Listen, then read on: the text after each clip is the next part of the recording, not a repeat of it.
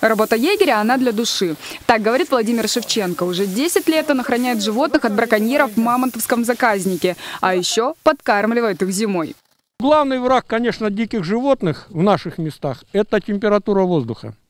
Как утверждают охотоведы-биологи, что минус 16 и ниже уже лосю плохо в водном смысле, в балансе водяном.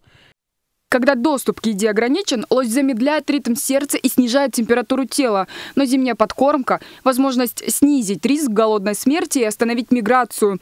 Пока животные на месте, охотоведы считают следы. Закладываются маршруты для проведения учета. Зимой по свежему снегу проезжается по этим маршрутам. И на этих маршрутах считается количество пересечений. Далее есть специальные формулы, методика, по которым а, рассчитывается карточка по каждому маршруту. Копытные животные копытят, чтобы добраться до травы. Но зимой из-за снега это сделать практически невозможно, особенно косулям. Поэтому их от смерти спасает сток сена. Следы животных считают вокруг. Всего в заказнике 12 кормушек, и через каждую проходит маршрут зимнего учета. Чтобы наполнить их, нужно запасти тонну сена, полторы тонны ячменя, и это не считая соли. Они же пустые были, съедено было все, они были заряжены, я отчитывался за них. А вот соль, смотрите, я вижу. Соль хорошо лежит в лосяшках.